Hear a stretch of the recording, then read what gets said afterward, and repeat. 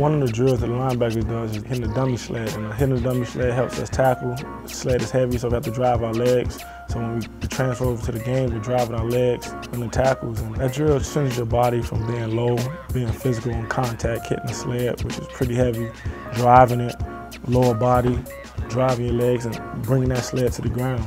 I don't know any running back in Conference USA that weighs as much as that sled. So hitting that, bringing it down when it comes to game time, I feel a lot easier.